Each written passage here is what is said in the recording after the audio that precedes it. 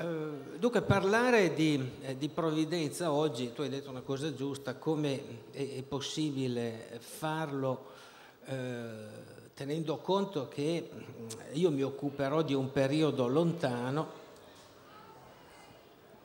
eh, ma il concetto di provvidenza oggi, dopo la, i disastri del Novecento, la Shoah, gli stermini, è un concetto che indubbiamente è entrato eh, in crisi come è entrato in crisi tutto eh, il mondo e l'universo che lo reggeva. Dunque noi dobbiamo fare eh, uno sforzo da questo punto di vista, cercando di riflettere, perché io mi occuperò della fase mh, germinale di questo concetto, nei primi secoli eh, dell'era cristiana, eh, di tener conto che eh, questa idea che è centrale nel messaggio di Gesù ed è fondamentale nel sorgere stesso del pensiero teologico cristiano è sorta e si è formata eh, in un mondo che era eh, radicalmente diverso dal nostro.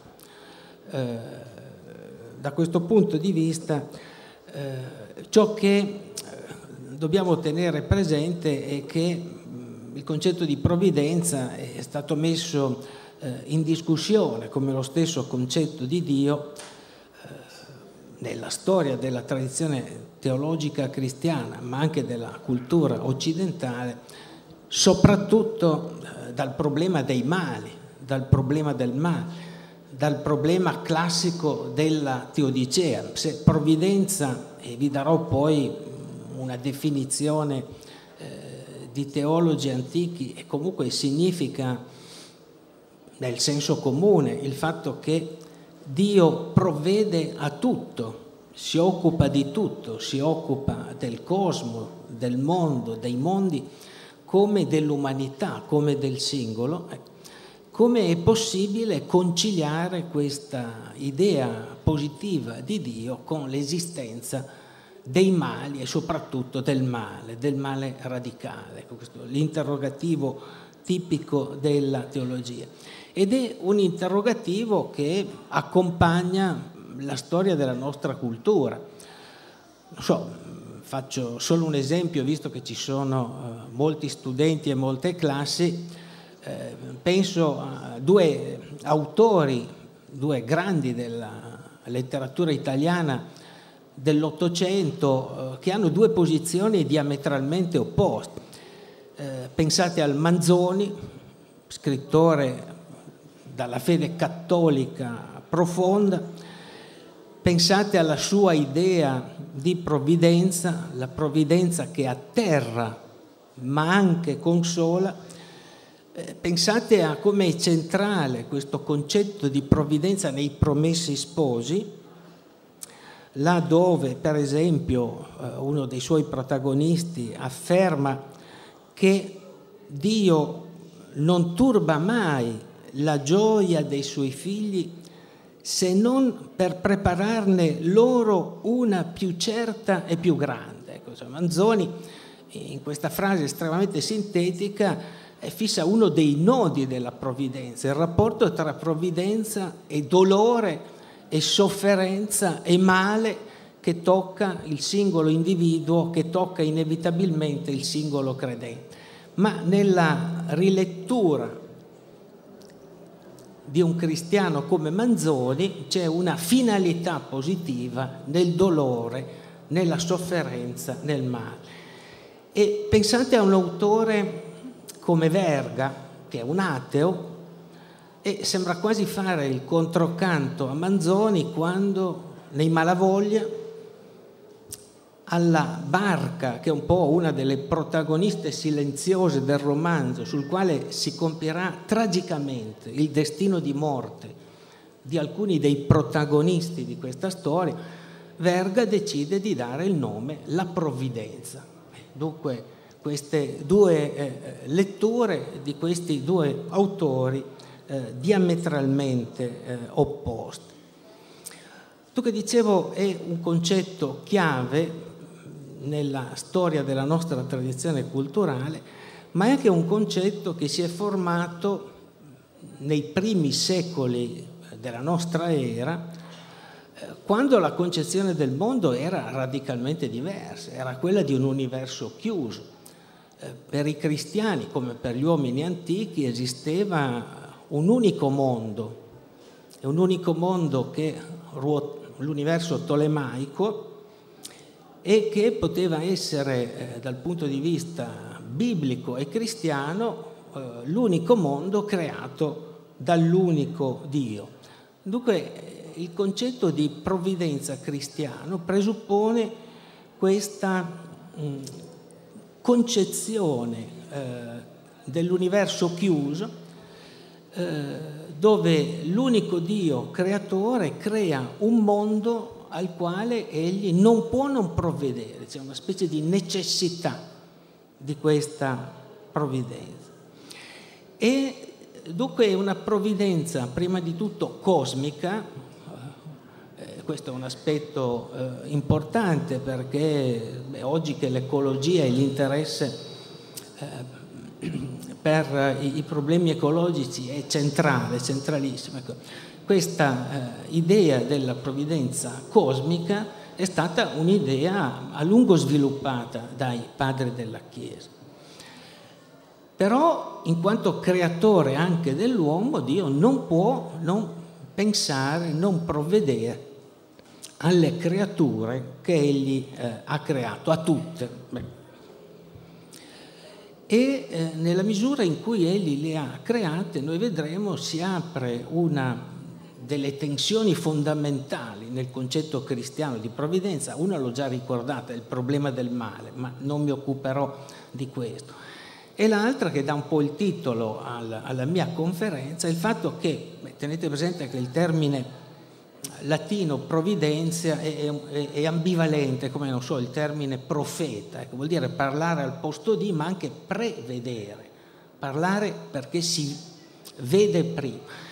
E eh, chi provvede, prevede, c'è questa ambivalenza del termine eh, provvidenza che reca seco di conseguenza uno dei classici problemi nella storia del pensiero teologico e filosofico che ci porta fino al Festival della filosofia, se Dio provvede, prevede, questo vuol dire che prevede il destino dei singoli prima della loro nascita e dunque eh, emerge quel problema del determinismo, perché Dio ha previsto tutto, e del rapporto tra il determinismo divino che come dire, una conseguenza logica di questa prescienza di Dio è il dono fondamentale che Dio fa all'uomo, la libertà, il libero arbitrio. Dunque il rapporto tra libero arbitrio e prescienza eh, divina che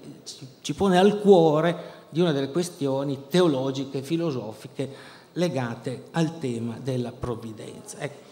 Io cercherò di far vedere in questa lezione come eh, i pensatori cristiani più antichi, eh, per riflettere su questa tematica, eh, si siano rifatti da un lato in quanto uomini di fede alla rivelazione, cioè alle scritture, a quelle che per loro erano la fonte della rivelazione, eh, quello che i cristiani chiameranno l'Antico Testamento, cioè la rivelazione contenuta per i cristiani nell'antico patto, le scritture ebraiche, e poi quello che diventa progressivamente il Nuovo Testamento.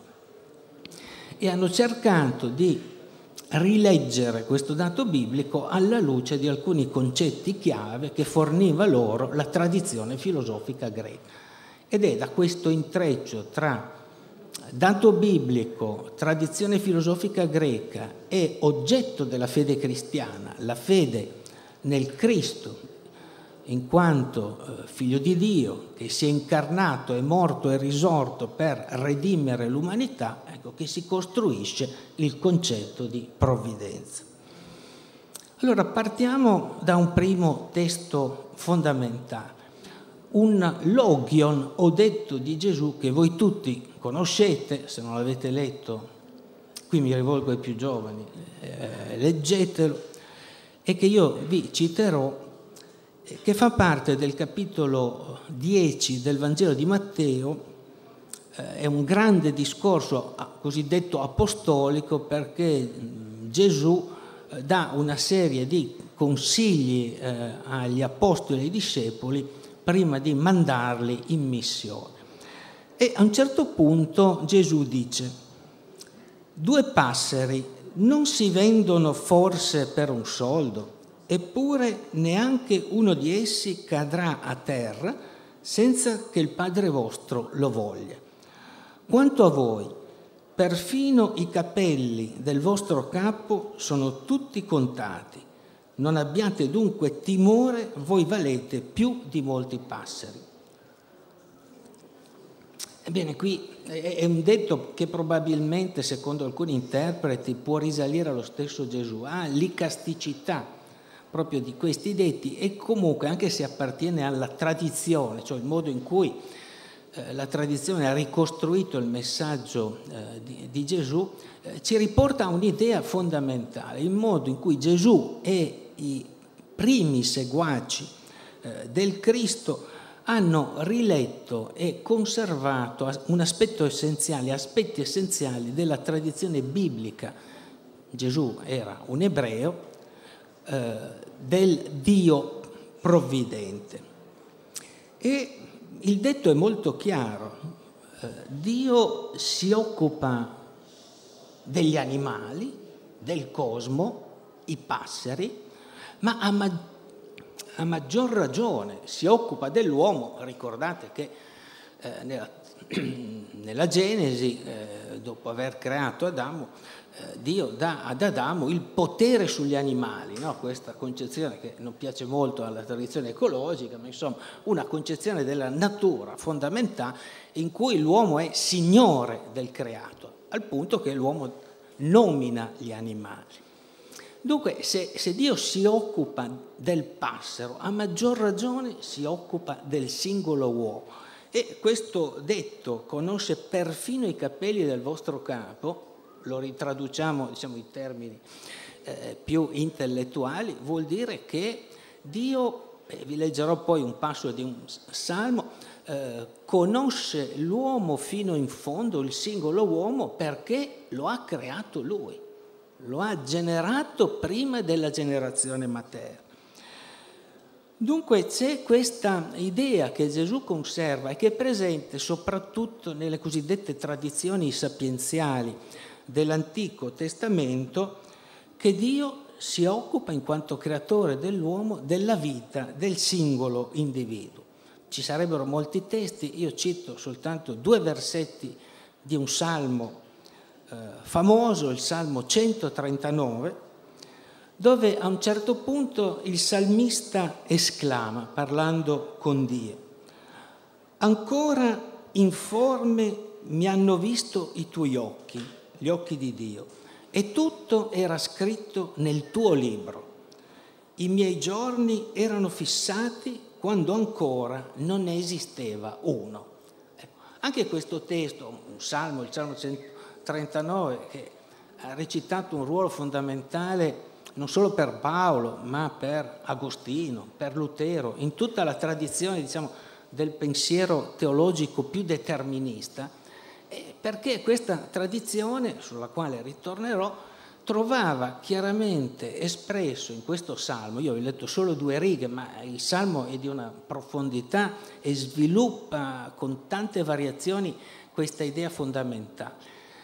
C'è il libro della vita, che è un tema mitologico del, dell'Oriente antico molto diffuso, eh, secondo il quale eh, la divinità, gli dei, conoscono il destino, per esempio, de, del popolo, della nazione, del re, eccetera. Qui questo tema è applicato non più a una divinità, ma è applicato a un Dio che viene percepito come l'unico Dio che esclude gli altri.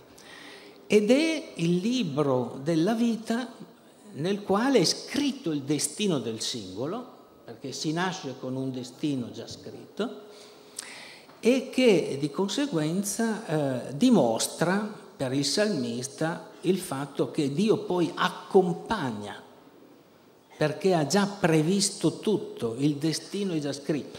che cosa succede? Qui si riprende un classico tema del destino greco, pensate alla Moira, e gli si dà una torsione profondamente religiosa, non è più il destino cieco, ma è un destino scritto da Dio del singolo che rimanda al fatto che Dio segue poi questo destino.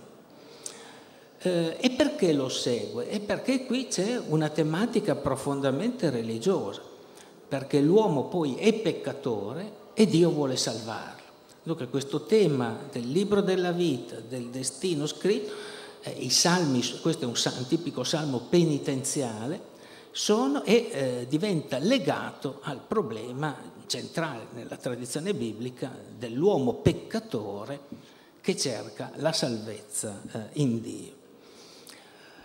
Eh, ho ricordato questo eh, aspetto perché qui c'è in nuce, anche se non è espresso chiaramente nel passo che vi ho letto, ma è presente in altri passi che adesso no, non posso leggervi, eh, un, un, problema teologico fondamentale. Com'è possibile che Dio voglia che l'uomo o permetta che l'uomo pecchi? Perché permette questo? E la risposta che viene data è perché comunque egli può provvedere alla sua salvezza. Dunque sullo sfondo c'è un problema che poi ritroveremo in Agostino, il diciamo, mistero della volontà divina. Eh, Gesù dunque riprende questo tema centrale della tradizione sapienziale dei salmi biblica e eh, un altro autore fondamentale tra i primi i più antichi autori cristiani è naturalmente Paolo.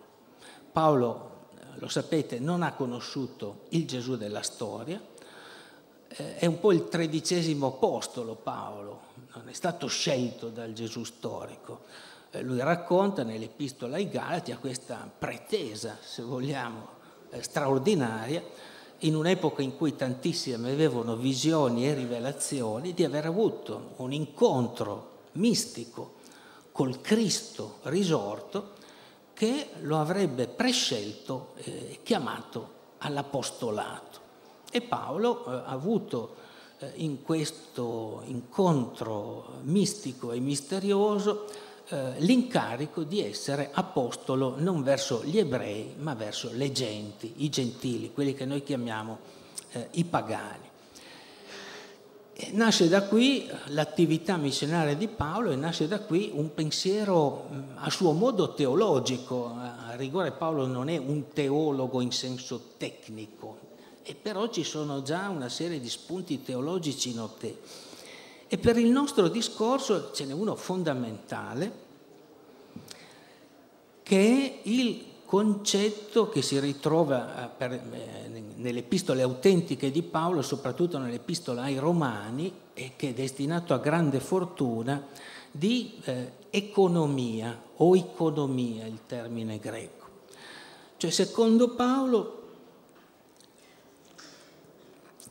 e questa è una rilettura come altri aspetti de, degli scritti di Paolo, profondamente eh, originale, del tema, del tema biblico che Dio, in quanto Signore del cosmo, è eh, Signore della storia. Dio agisce nella storia, questa è la caratteristica fondamentale del Dio biblico.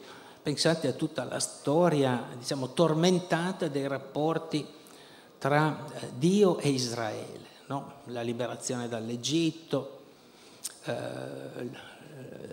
il viaggio di 40 anni nel deserto, la consegna a Mosè delle tavole della legge, la terra promessa.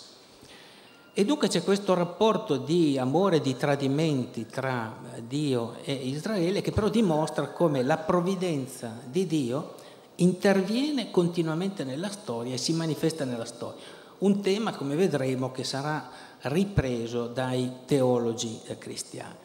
Paolo lo rilegge in questo modo. Dio, che cos'è l'oeconomia, l'economia di Dio? Dio ha preparato fin nel nella sua insondabile volontà un piano di salvezza per tutti i credenti in Cristo. Tutti sono chiamati, e questo è il punto, il famoso capitolo ottavo dell'epistola ai Romani, anche se solo lui sa chi alla fine sarà veramente eletto. È un passo sul quale sono scorsi e continueranno a scorrere fiumi di inchiostro, ma io lo ricordo perché qui per la prima volta con Paolo è messo chiaramente a tema questo problema di fondo del rapporto tra la prescenza divina, il piano di economia della salvezza di Dio che si rivolge a tutti i credenti in Cristo e il fatto che non tutti si salveranno, ma non in funzione della loro libertà, ma perché Dio ne ha scelti soltanto alcuni.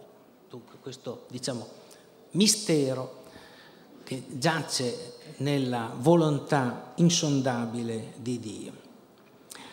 Dunque, eh, per riassumere questo aspetto della dimensione biblica che i primi cristiani elaborano, eh, essi riprendono il concetto di provvidenza e l'idea di un Dio creatore unico, provvidente nei confronti del cosmo, della storia e del singolo, e si trovano a questo punto di fronte alla vera novità, cioè come conciliare questa concezione col dato nuovo della fede cristiana, e cioè la fede nel Cristo. Un Cristo che già alla fine, già per Paolo, ma soprattutto per l'autore del Vangelo di Giovanni, alla fine del primo secolo è diventato un essere misterioso, trascendente, il Logos, il figlio di Dio voi ricordate il prologo del Vangelo di Giovanni, in principio, in arché, era il Logos. Ecco. E dunque il problema della prima teologia cristiana è di capire il senso profondo di questa affermazione, essendo il Vangelo di Giovanni un testo che è entrato poi nel canone, ben presto è entrato nel canone, era un testo rivelato qual era il contenuto di questa rivelazione.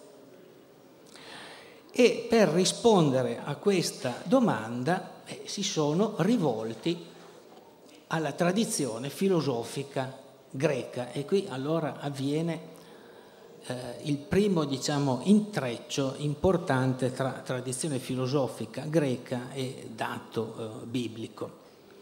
E qui si apre un, problema più generale, io vorrei solo ricordarlo, beh, oggi i giornali parlavano del viaggio di Benedetto XVI in Inghilterra, eh, io vorrei ricordare, in funzione del discorso che stiamo facendo, il famoso discorso che eh, Papa Benedetto XVI ha fatto a Regensburg nel dicembre 2006, di cui si parlò molto sui giornali perché fu visto come un attacco all'Islam. Ma che in realtà era un tipico discorso del professor Ratzinger ai suoi colleghi dell'Università di Regensburg, che ruotava intorno a un problema fondamentale che aveva già appassionato il giovane Ratzinger, uno dei suoi primi scritti nel 66, era proprio dedicato a questo problema del significato dell'incontro tra tradizione filosofica greca e patrimonio biblico. Era stato un incontro positivo o era stato un incontro negativo? Il Papa diceva in quel discorso chiaramente che era stato un incontro essenziale e per far questo eh, concentrava il suo discorso sul ruolo del logos, cioè il logos di cui parlavamo prima a proposito del Vangelo di Giovanni.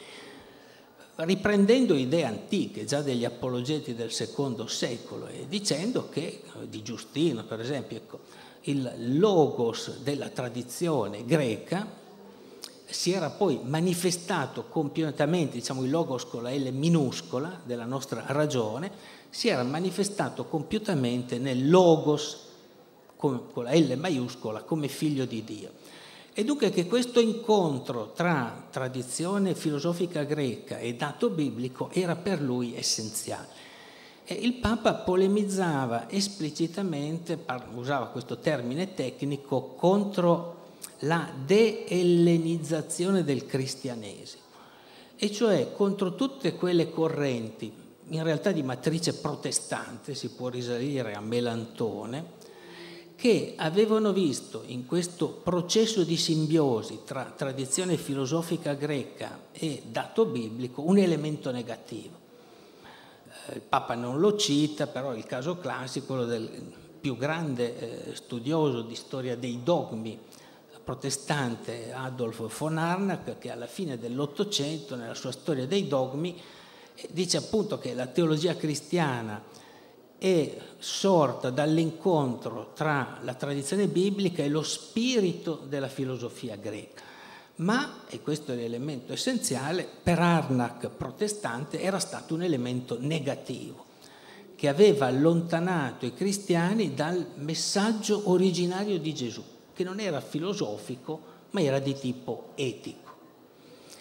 Ecco, il, il Papa e chi si richiama a lui sostiene invece che c'è un intreccio profondo tra tradizione biblica e eh, filosofia greca che non va valutato negativamente. Devo dire che dal punto di vista storico io sono d'accordo e il discorso che sto facendo va in questo modo, con alcune precisazioni. Intanto perché storicamente non si sottolinea abbastanza una caratteristica di questa riflessione teologica che sovente è una riflessione che avviene come esegesi, cioè questi autori, parlerò, dirò qualcosa sui due più grandi, Origene e Agostino, sono autori che non riflettono astrattamente sui problemi teologici più importanti, ma sovente nella predicazione a partire dal confronto col testo biblico, è come dire una teologia esegetica e questo condiziona molto il pensiero teologico cristiano antico. E il secondo elemento che è una teologia estremamente complessa e contraddittoria. Pensate che non c'è un dogma della provvidenza, cioè la Chiesa antica, a differenza di altri punti nodali, il rapporto mistero trinitario, i dogmi cristologici, non, ha, non è riuscita, non ha voluto, non ha fissato una dottrina a cui il credente, in un concilio ecumenico in cui il credente eh, deve credere nei secoli. Dunque rimane un campo aperto. E io vorrei dare un po' un'idea di questa eh, complessità. Dicevo la tradizione filosofica greca, beh qui l'autore fondamentale è Platone. I padri si sono rifatti a Platone per, in sostanza per due motivi, tutta la storia dell'influsso di Platone e del platonismo, l'ellenizzazione del cristianesimo è passata soprattutto attraverso l'influsso più che Aristotele della tradizione platonica. Il motivo è evidente. Platone aveva un'idea trascendente del bene. I padri miravano a una costruzione che rendesse possibile eh, conciliare l'idea di un Dio provvidente con il meglio della tradizione filosofica. Eh, il platonismo, da questo punto di vista, si sposava bene. Ora, il testo fondamentale a cui i padri si richiamano per elaborare teologicamente il concetto di provvidenza è il decimo libro delle leggi di Platone, una delle sue ultime opere, eh, molto lunga, molto complessa, interessante soprattutto da, dal punto di vista, se volete, politologico, ma che ha eh, anche un'idea teologica fondamentale. Nel decimo libro Platone, attraverso il suo portaparola, l'ateniese, affronta un tema, potremmo dire, di grande attualità, e cioè è possibile avere delle leggi, o meglio, la legge senza un fondamento divino. La legge per esistere deve avere un fondamento divino. Dunque perché ci sia questo fondamento bisogna dimostrare contro gli atei, contro gli atomisti, contro Democrito, eh, bisogna dimostrare l'esistenza dell'anima prima e l'esistenza degli dei. E eh, buona parte del libro decimo verte su questa eh, dimostrazione. Per il nostro discorso è fondamentale un punto, laddove eh, Platone, dimostrata l'esistenza, l'ateniese, diciamo, dimostrata l'esistenza dell'anima, eh, ricordato che quest'anima individuale è sorretta da una grande anima che regge il cosmo, l'anima del mondo, afferma che in questo modo la divinità ha a cuore il cosmo, sia le cose grandi sia le cose piccole, e c'è questa frase bellissima, dice tutti noi siamo possesso degli dei, cioè gli dei, contrariamente a quello che talora si dice, ecco, gli dei si curano degli uomini, hanno una specie di interesse di proprietà, anche se precisa, noi non dobbiamo aspettarci che il nostro interesse personale prevalga sull'interesse generale, perché noi siamo soltanto una parte del tutto, che è il vero oggetto della provvidenza divina. E usa proprio questo termine pronoia, che diventa allora l'antesignano della provvidenza cristiana. E il secondo elemento della tradizione filosofica importante è il, è il, modo in cui poi una scuola ellenistica che ha molto influenzato la tradizione teologica cristiana, cioè gli stoici, hanno elaborato un concetto di provvidenza immanente, non esiste una divinità trascendente, che ha questa questa dimensione fondamentale è il logos, è razionale. Questo fatto che gli stoici parlano di un logos che regge e amministra il cosmo dal punto di vista stoico con un eh, diciamo, eh, aspetto di determinismo. Ecco, I padri hanno ripreso questa idea del logos che amministra il cosmo e l'hanno applicata al Logos, figlio di Dio e mediatore tra il Dio creatore e eh, l'umanità.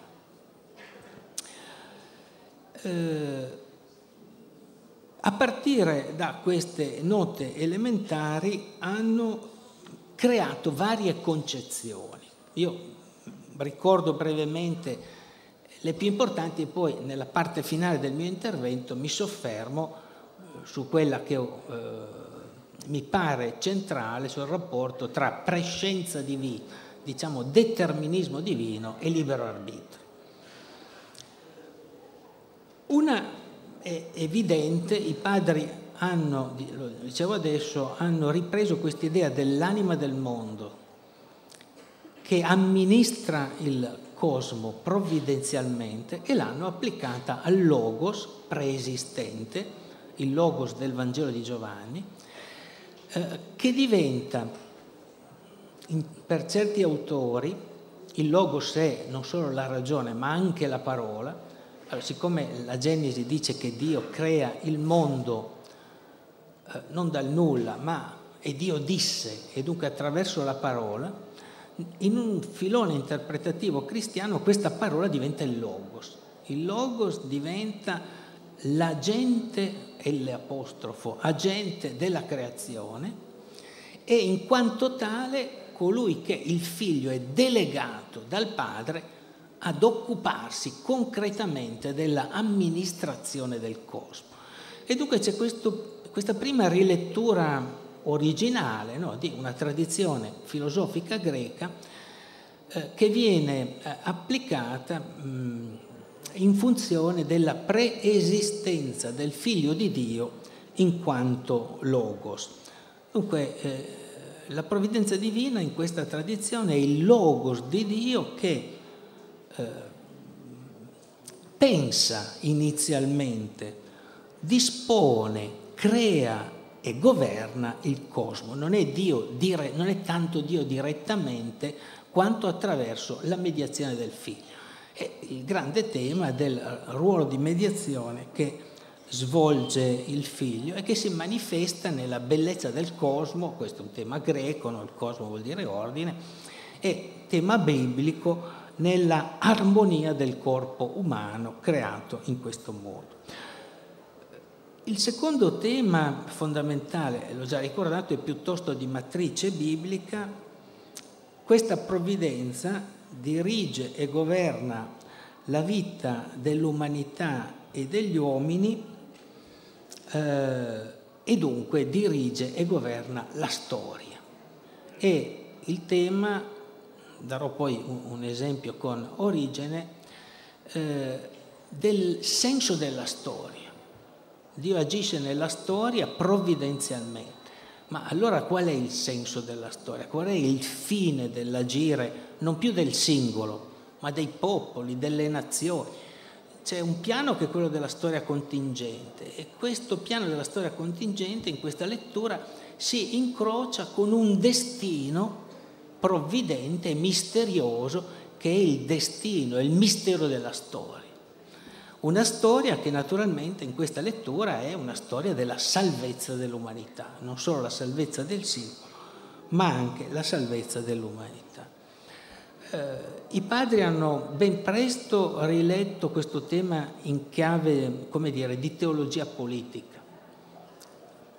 Gesù era nato sotto l'imperatore Augusto e dunque questo non era un caso, rispondeva a, era un sincronismo, come si diceva all'epoca, a un piano misterioso di Dio che legava la sorte del popolo eletto da Dio, il nuovo popolo, il nuovo Israele, all'impero romano. E dunque si gettano le basi per una lettura provvidenziale della storia che poi trova degli esponenti importanti con la svolta di Costantino, la conversione di Costantino quando poi l'impero nel IV secolo diventa cristiano. L'impero cristiano per questi autori, da Eusebio, Lattanzio fino ad Agostino, la città di Dio, dimostra che c'è un mistero celato nella storia che è legato al piano provvidenziale di Dio che agisce nella storia. Eh, legato e intrecciato a questo tema, ma diverso, eh, è il fatto che eh, Dio, ecco, in questo piano salvifico, non è che non interviene, interviene attraverso il suo logos e attraverso una serie di mediatori per eh, educare l'umanità se ho tempo ritornerò su questo tema con Origene, è un tema centrale nel pensiero di Origene, la provvidenza divina nella storia, il tema che poi verrà dire, ripreso in veste secolare da Lessing, eh, ma c'è già in Origene chiaramente, cioè nella prima metà del terzo secolo, Dio agisce come un educatore che attraverso una serie di personaggi, dai profeti a Gesù, eh, a degli uomini straordinari cristiani, eh, educa il popolo eletto e gli altri popoli a questo suo progetto eh, salvifico. E poi c'è l'ultimo tema sul quale adesso mi concentro eh, per eh, avviarmi alla conclusione, che è quello del rapporto misterioso l'avete già incontrato nel Salmo, l'abbiamo già incontrato in Paolo, eh, tra determinismo divino e libertà umana. Naturalmente questo era un tema centrale nella filosofia greca su cui altri no, interverranno, eh, immagino, in altre eh, lezioni. Eh, i, I, greci usavano questo termine eimarmene, per esempio, no? cioè, per esprimere il il senso del destino, ricorrevano all'astrologia, c'era tutta una mitologia che raccontava come l'anima prima di incorporarsi attraversava le varie sfere astrali e ogni sfera eh, dava il suo imprinting in qualche modo, no? erano i segni astrologici e alla fine l'insieme di questi segni costituivano il destino. E l'uomo che cosa poteva fare? Poteva cercare di decodificare questi segni, per esempio attraverso la divinazione astrologica, ma il suo destino era segnato. Ecco, questo è un tema che viene ripreso eh, in chiave provvidenzialistica, perché qui abbiamo a che fare non con un destino impersonale, ma con un Dio personale, la caratteristica fondamentale, l'ho già ricordato, dotato di volontà. Allora il problema diventa l'uomo può avere accesso in qualche modo al mistero della volontà divina. Eh, qui vi porto due esempi diametralmente opposti, due risposte diametralmente opposte che servono, se volete, un po' anche di conclusione, ma anche di invito alla riflessione, per far vedere come il pensiero teologico cristiano su queste tematiche era molto aperto nell'antichità, no? si potevano dare risposte diverse. La prima è quella di Origene, che è il più grande pensatore in lingua greca, che è vissuto nella prima metà del III secolo, e eh, è un pensatore che ha conosciuto una fortuna alterna, soprattutto in Occidente, anche perché a partire da un certo punto dopo la sua morte alcune delle sue dottrine sono state, per esempio la metempsicosi, l'apocatastasi, sono state condannate in un concilio nel VI secolo, ma in realtà la fortuna del pensiero di origine arriva fino ai giorni nostri. Dunque, ho già ricordato questa idea fondamentale. Origine ha una concezione del mondo mm, originale veramente rispetto ad altri pensatori, perché rompe questo universo chiuso, si rifà alla concezione della pluralità dei mondi e platonicamente immagina che inizialmente eh, esistessero create da Dio soltanto delle anime, esseri razionali, tra cui anche il Cristo, e che a un certo punto, nel tempo prima del tempo, queste anime, il tema platonico del, del mito di Er, della caduta delle anime, per un motivo diciamo misterioso, una sorta di colpa antecedente, siano cadute e si siano incorporate.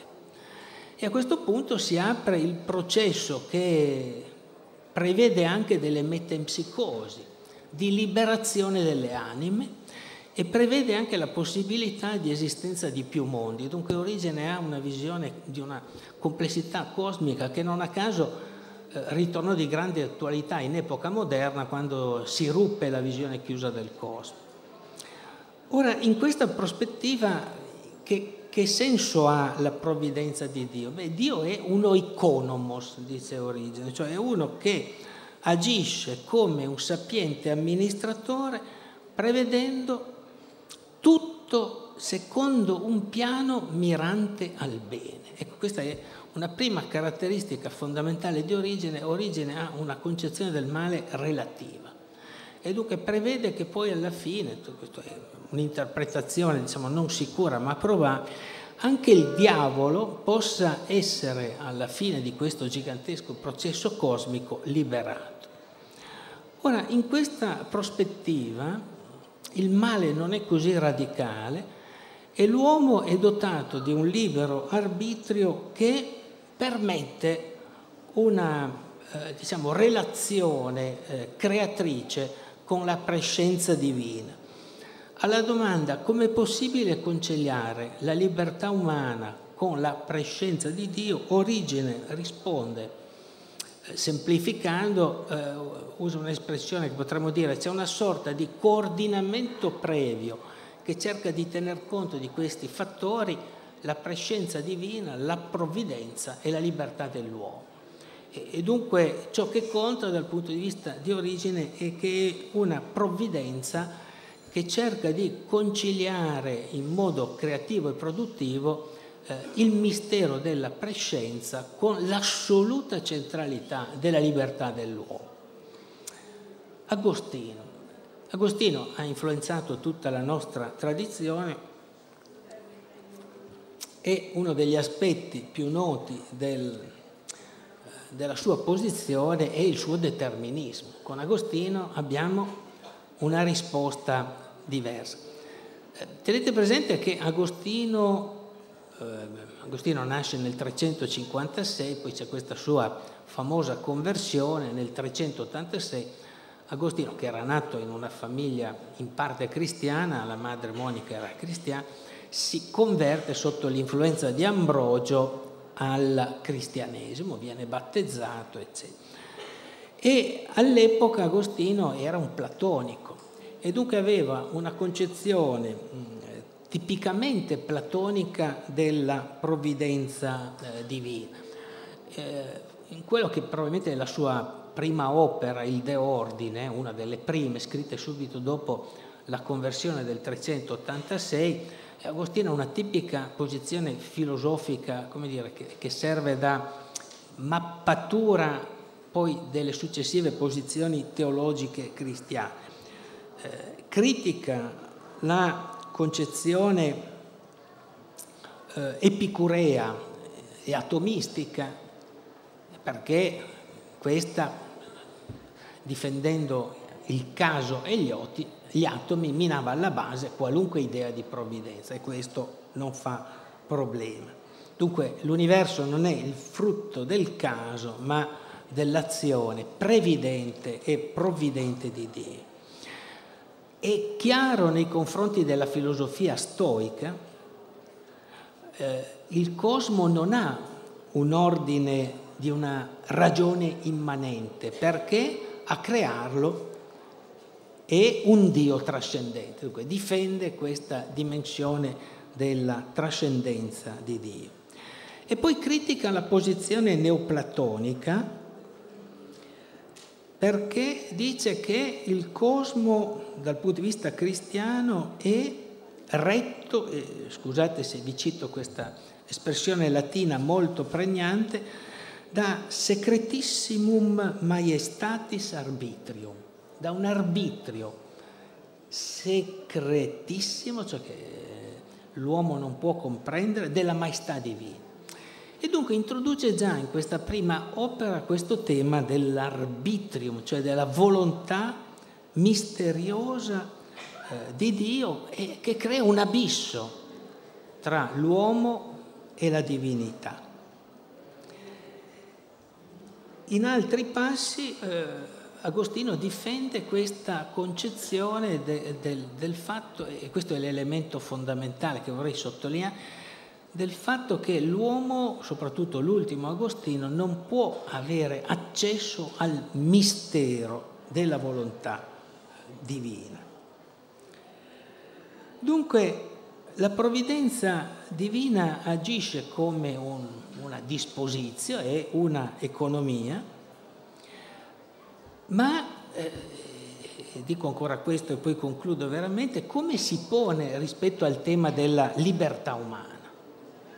E qui Agostino ha una risposta diversa da quella di origine, soprattutto nella polemica con Pelagio e i pelagiani. Pelagio e i pelagiani sostenevano che la libertà umana era un dono di natura, che il peccato aveva intaccato ma non cancellato.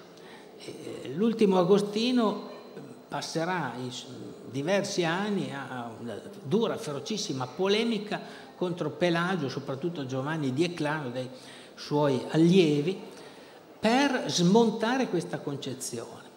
Eh, il peccato, che poi dopo Agostino si chiamerà peccato originale e che viene trasmesso misteriosamente per Agostino da Adamo eh, ai successori, è qualcosa che ha intaccato in modo irrimediabile la natura umana e dunque ha attaccato in modo irrimediabile anche la libertà dell'uomo. La libertà dell'uomo, a differenza che per origine, di per sé non è in grado di salvare l'uomo. E dunque da questo punto di vista Agostino apre il problema che poi sarà centrale in tutta la tradizione teologica che a lui si richiama, un nome su tutti, Lutero, apre il problema della decisività e del mistero dell'intervento divino. È evidente che l'ultimo Agostino riprende il Paolo del capitolo 8 dell'Epistola ai Romani che io ho ricordato, molti chiamati ma pochi gli eletti, e sottolinea chiaramente massa perdizionis, no? che la maggior parte della gente è destinata, ma che soltanto quelli che la volontà misteriosa, insondabile di Dio ha predeterminato alla salvezza saranno salvati. È una dottrina radicale che non a caso è sempre stata al centro delle discussioni della tradizione filosofica cristiana, che merita di essere eh, ricordata per la sua centralità. A sua difesa eh, vorrei soltanto dire, non come giudizio ma come elemento di riflessione, che in questo modo Agostino ha cercato, e tutti coloro che sono richiamati a lui, ha cercato di difendere il mistero della trascendenza divina da qualunque tipo di teologia, per esempio tutte le teologie della analogia, che pretendono in qualche modo di accostare Dio e l'uomo, dunque mantenendo l'abisso, questo segretissimo arbitrium di Dio, l'uomo non può accostarsi. E con questo penso di poter concludere. Grazie.